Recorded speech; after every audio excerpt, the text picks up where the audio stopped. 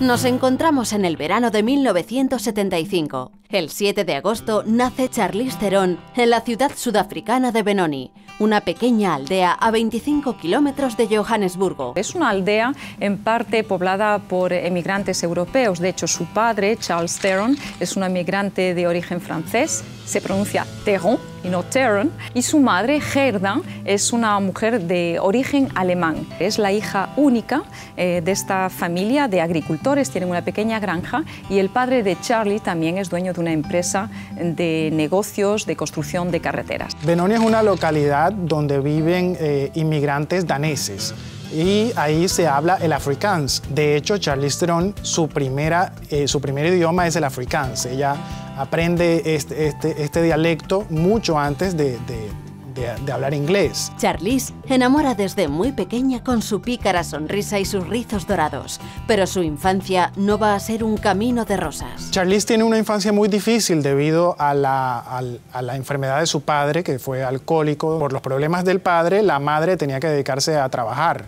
Entonces fue criada por la nani de la familia, fue la persona que le, que le inculcó este, este amor por el arte y por la fantasía, porque le contaba todas estas historias africanas y esta niña viviendo en, pleno campo, eh, lo único que podía hacer era soñar. Ella se pasaba horas y horas viendo hasta las mismas películas y, y, ahí empezó a despertarse un poco el interés de ella por querer descubrir el mundo, digamos, y qué había más allá de su querida Sudáfrica.